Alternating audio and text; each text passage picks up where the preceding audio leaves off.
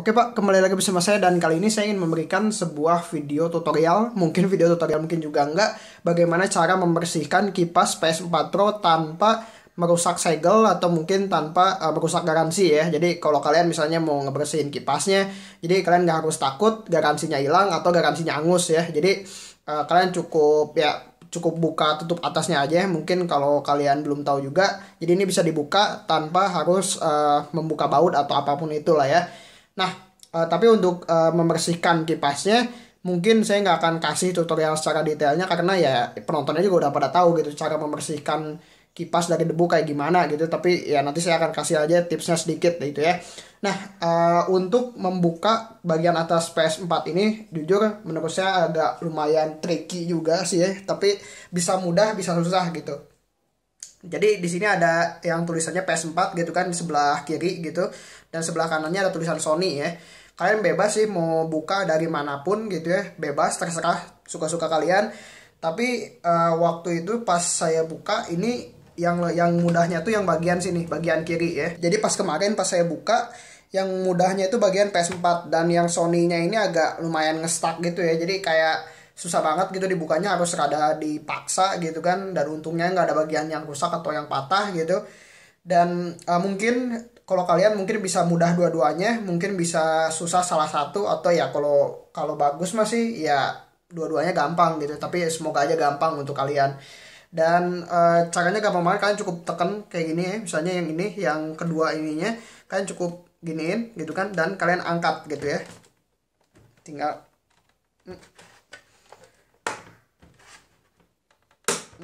kan buka eh, yang sebelahnya lagi ya tinggal angkat gitu aja dan setelah diangkat dan tinggal digeser gitu ya. Dari ini kan udah keangkat nih tinggal digeser ke belakang gitu. Di slide lah ya. Ya jadi tinggal gitu doang sih gampang banget.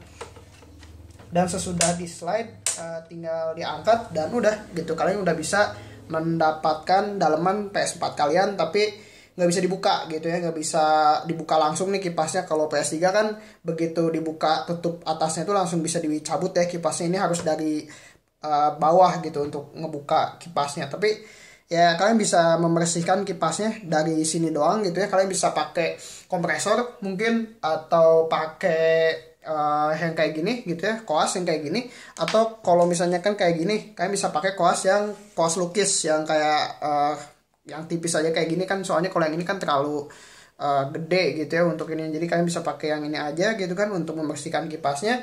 Atau kalau kalian mau kalian bisa pakai cotton bud. Ya pakai cotton bud yang kayak gini. Dan uh, untuk cotton budnya saya saranin kalian siapin aja lumayan banyak gitu ya. Mungkin satu wadah atau mungkin ya minimal 10 karena satu satu kayak gini kayak kayaknya sih nggak akan cukup ya nggak akan cukup untuk ngebersihin ini. Apalagi kalau misalnya udah lumayan kotor nih kayak gini gitu ya. Saya ini udah dua tahun gitu nggak pernah dibuka gitu baru dibuka kemarin untuk uh, eh, PS-nya gitu. Dan kalau kalian mau ngebersihinnya ini kan harus dibasahin ya untuk cotton budnya.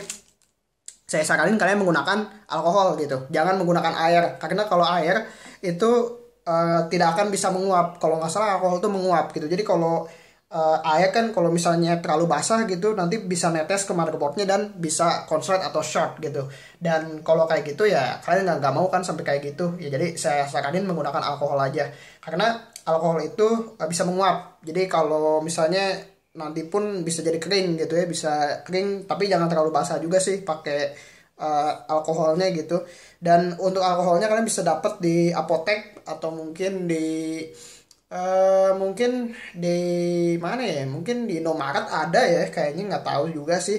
Tapi saya beli di apotek 95% kalau nggak salah 95% harganya 7.500 gitu ya.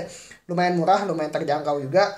Dan ya mungkin itu doang sih ya sedikit uh, cara membukanya. Mungkin nanti saya akan bikin videonya yang lebih detailnya karena uh, waktu itu saya pas ngebukanya tuh agak susah juga sih ya.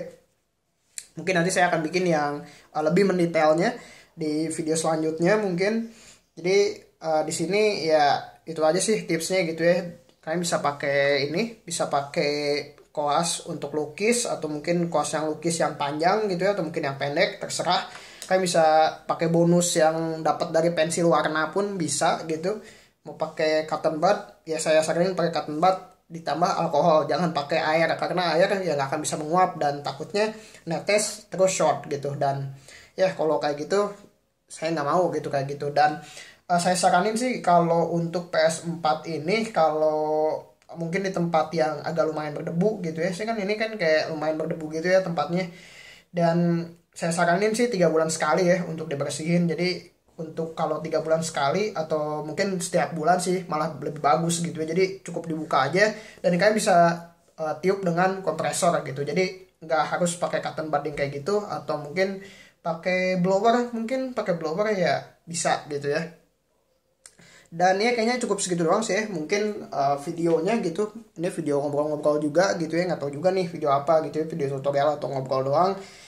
Ya untuk ngebersihinnya gampang banget ya. Ya kayak ngebersihin biasa aja. Nggak harus dipraktekan gitu. Kalian juga udah bisa atau mungkin udah pada tahu gitu. Penonton saya udah pada pinter juga gitu. Dan ya saya yakin juga lu pada udah pinter gitu ya. Dan thanks for watching Bye bye.